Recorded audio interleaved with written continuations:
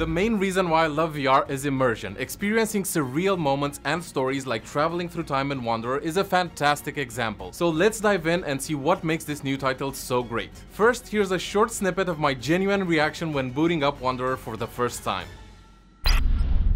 Alright, grab it. Do it quick.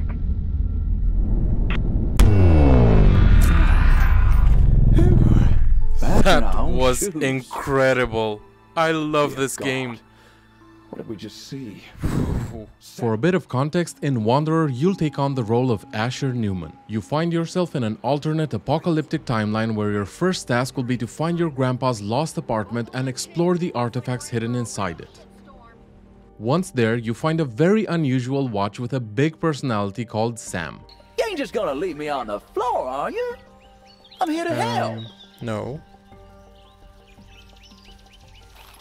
Ah, that's more like it. That's where the fun really begins, because Sam unlocks the power to travel through time and space. And in case you're wondering, yes, the time traveling mechanic feels as amazing as it looks. Whoa! It's very fluid and satisfying and has no loading screens at all between timelines, which really adds to the immersion factor. Jehoshaphat! We're out of this world!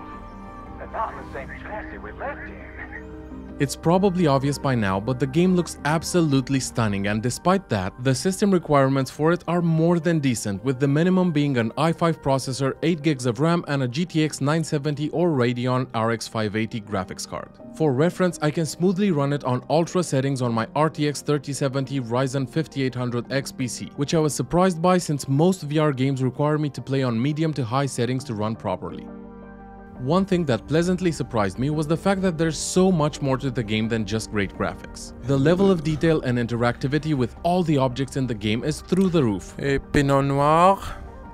Very. with the storytelling and voice acting also being excellent from start to finish. The characters you'll meet all add to the immersion, really drawing you into the story and making you want to keep playing to find out what's going to happen next. Cowardly act. They've robbed the world of the name Tesla. Like how a child mindlessly tears a page from a precious book. From a gameplay perspective, this adventure will have you solving some pretty intricate puzzles that are extremely well designed and will truly require you to put your brain to work. Imagine it's like an escape room that spans across thousands of years and through various civilizations, stories, and challenges, all intertwined in a way that really made me remember why I love VR so much. It's titles like these that make this platform exceed what any other flat experience could even get close to. Now, if you've watched any reviews of mine in the past, you know I'm all about honesty, so let's talk about a few things that could be improved. Because as much as I loved playing this, it's not perfect and you deserve to know before spending your hard-earned money.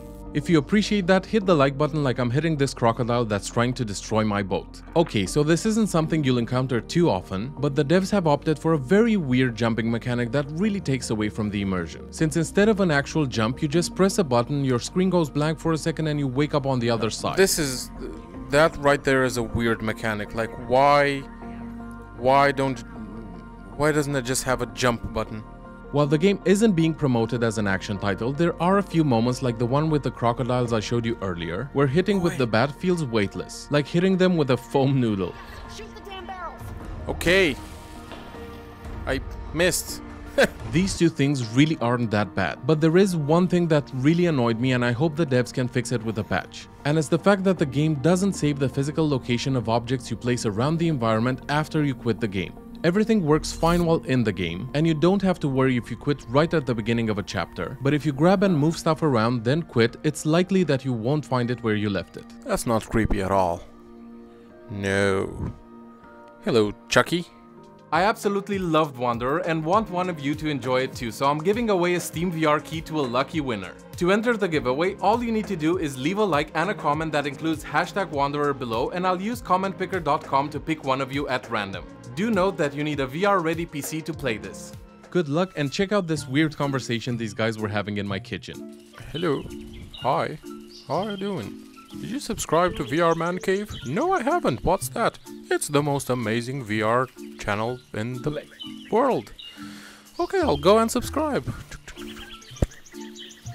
Okay, I'll go back and watch some videos as well. Let's seize the day, my friend. And by seas. I mean let's get this place electrified.